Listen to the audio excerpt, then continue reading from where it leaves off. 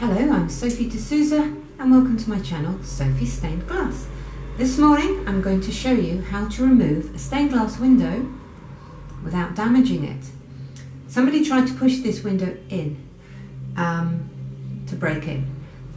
So they've pushed it back out again so now the bow is in this direction but it's in a very poor state. The first thing I'm going to do is use my all-weather tape to tape it up so that I can take it out and not worry about the pieces dropping.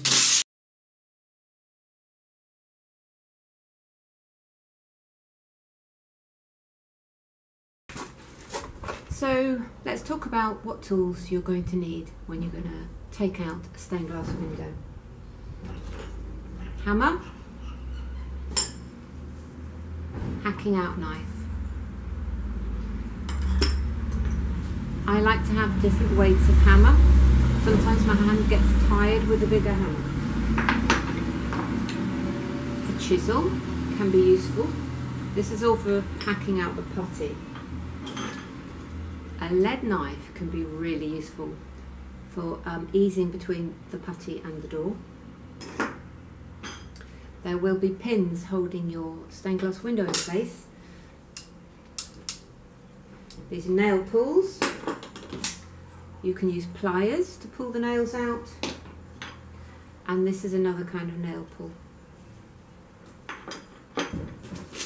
You'll need to board up the window space afterwards. So these are pins, 20 mil, 30 mil. Um, jigsaw, because you'll need to uh, cut a panel of wood to fit into your open hole while you rebuild your panel or somebody else rebuilds your panel. And tape can be very useful if your window is damaged. Um, tape it up before you take it out to stop pieces falling out. And I think that's it. It's worth mentioning that the, the bar that should be strengthening this window is missing can see where the ties used to be. Um, and that's really no good in a door, especially um, in the panel furthest away from the hinge because that's under the most pressure um, from you know opening and closing. So when I put this back in, I will put a, a bar across here, although it's a very shallow rebate and um, there's not going to be a lot of room to put the bar in and I yeah. Well, we'll we'll deal with that when we come to it. I'm just going to test the putty and see how hard it is. I'm just going to slip my lead knife between the door rebate and see if I can flick it out. And actually it's coming out quite nicely.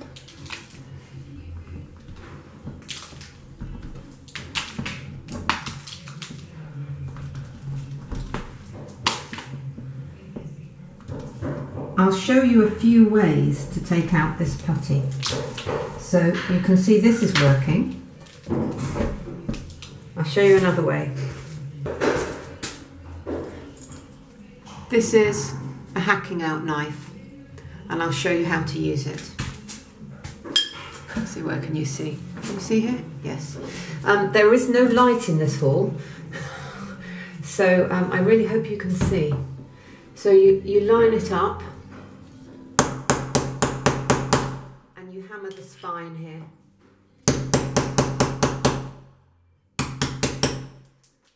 So that's that's a, a, another method can use. Um, it's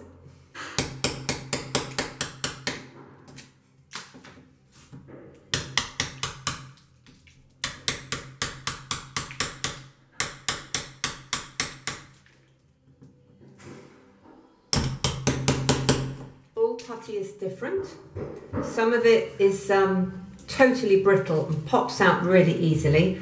Others is like cement. it's really hard. This is somewhere in between. It's still got some give left in it, so I can I can it's putty is never supposed to go completely hard because it's supposed to give with the expansion and contraction of the wood and the glass. Um, and this is, it's still soft basically.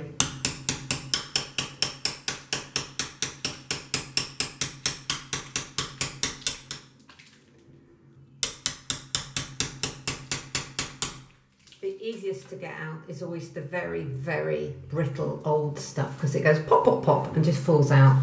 This isn't too bad though.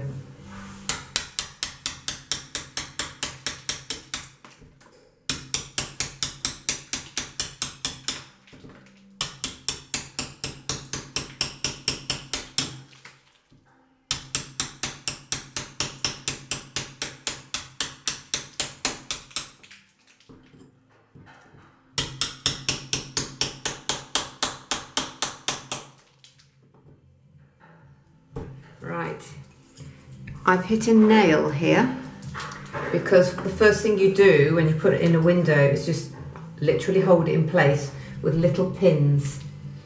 So that I will pull out later. It's quite good to keep them in because you don't want the window popping out, although this one probably won't.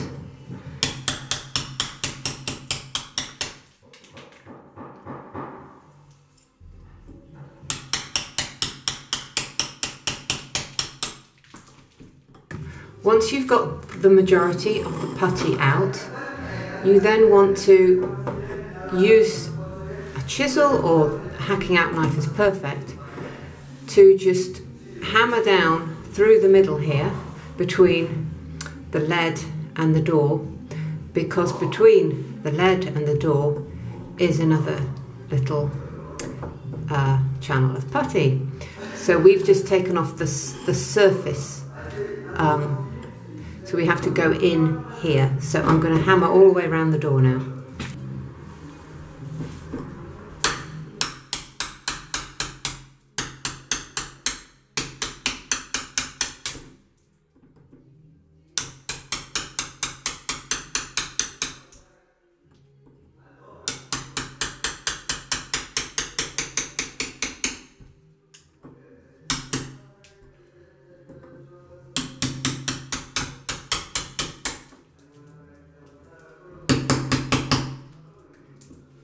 Don't know if you can see, maybe you can't, but now that I've gone between the lead and the door, actually a bit of leverage and I can feel the window moving.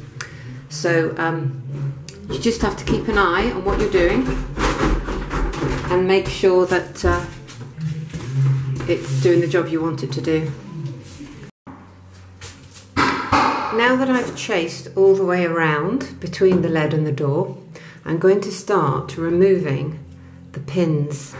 And there's various ways you can do it. Uh, various long nose pliers nail pulls. I'm just using little snips at the moment. Give it a wiggle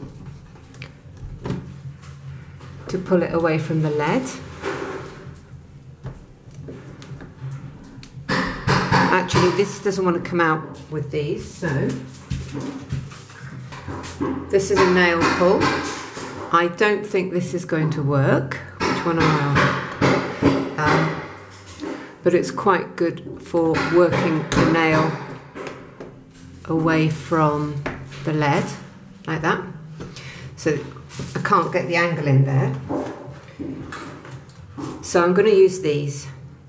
And these use a rocking motion, which means you don't end up leaving a dent where you've levered on the wood. So actually I might just go over to using my nail pulls.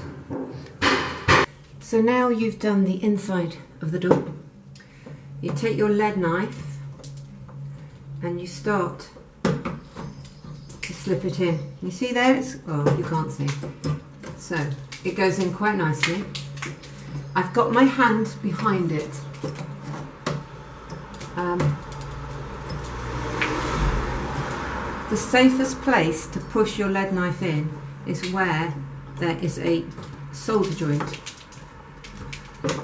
If you push it in the middle of a long piece, the danger is you're going to snap that long piece because you need a little bit of wiggle.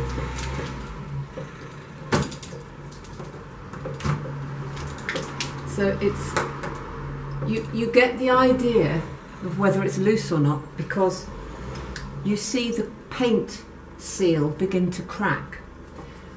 And if it doesn't crack, you know that there's something stopping it. And you have to go back to the inside of the door and see if you can see where it's still stuck. Like the top here, it doesn't feel like it wants to come.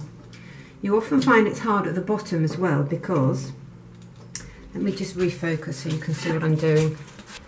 Um, quite often, especially with an old window, the bottom joint is the most difficult because the weight of the window has compressed down over the years. But you don't know until you try, basically.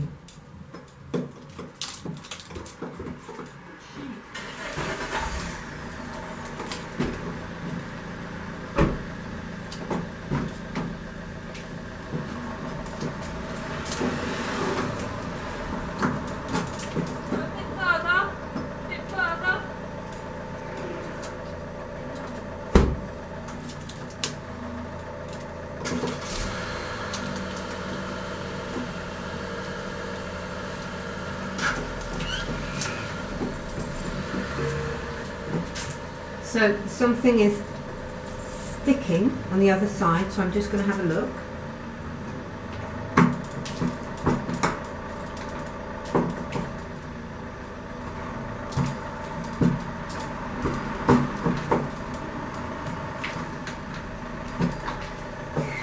So I dug out a bit more putty with my lead knife. Let's see if that works.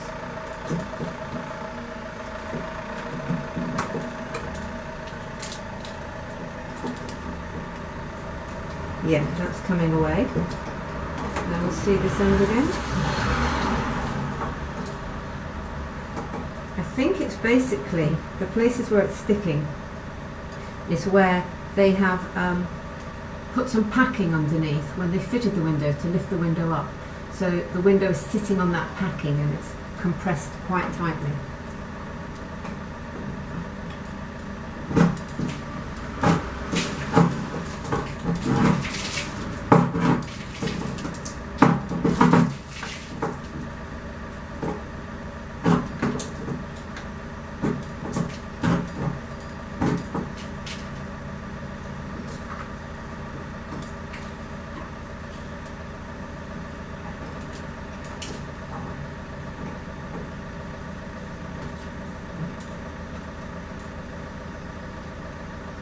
So I think that will go, but I'm going to check at the top before I finally push it through because I don't want it to suddenly fall out at the bottom but still be stuck at the top. So again, I'm going to just loosen, loosen it with the point of my lead knife.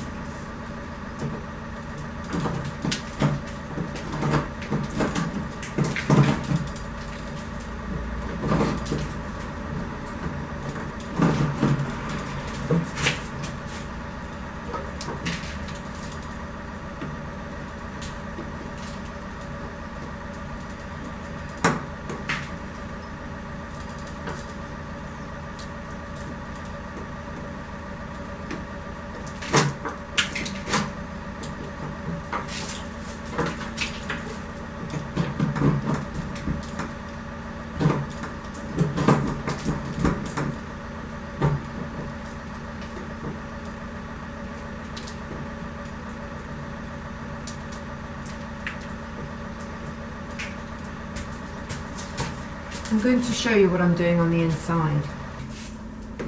So, can you see? Yeah. So I'm scraping with my knife and I'm also doing a little bit of levering. Right. You can see it's beginning to come now. There we go. It's got it. So I hope this video has shown you how to remove a stained glass window uh, intact, apart from the enormous areas of damage, of course. Now the window's out, I'm going to just tidy up this rebate which is full of nasty old putty. So boring job but um, I, I much prefer to do all the mucky stuff in one go then I can sweep up and when I come to refit the window other than just wiping it with white spirit um, it won't really make any dust.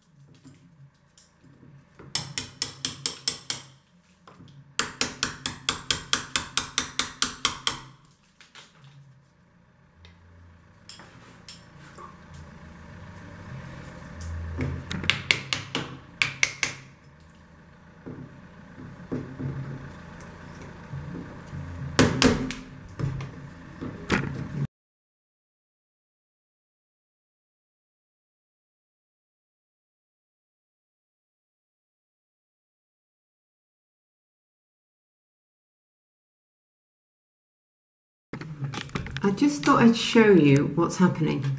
Um, so, because this is not very old putty and it's still very sticky, I, I'm ju it's just removing some of the wood with it as I go. And uh, it's not ideal, but there's nothing much I can do about that because um, I can't, I have to get rid of this putty and um, it's clearly a bit stronger than the old door.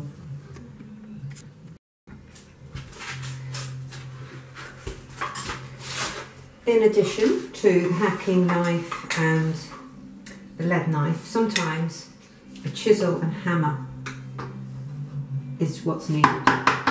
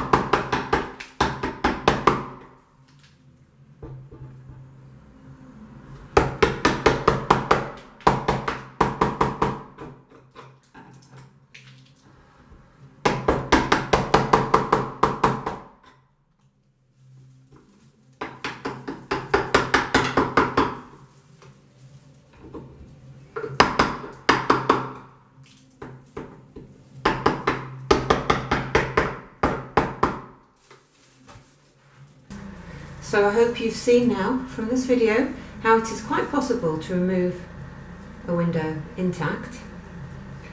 Um, I'll now take it away and rebuild it, um, which I might put on another video.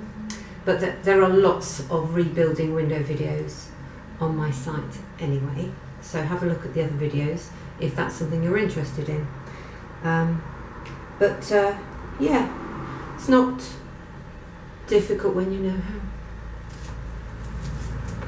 And please like, comment and subscribe.